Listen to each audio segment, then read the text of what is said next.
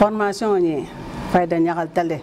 parce que mbaɗa malo nin xanna go do soto mbakele ñam sa ni euh, na dépense go do ta ani na bara go do la xibe ñaxami mais kabri nata formation ñenke ngalo ne silambe na go do kele ñamena dépense o même be ke xan dépense o ani baro be ke xa menna wol me kafu iyo nata wolela après fulanjango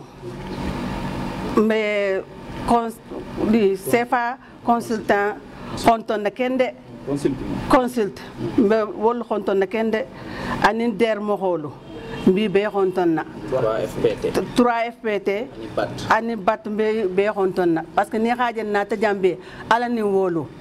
yahan tel choisi tel doronte jeyeti kedugude mais yaha moxo dantanta pour xala saxa ni mbaroñi se taxa ñamen ntel ñaxal tale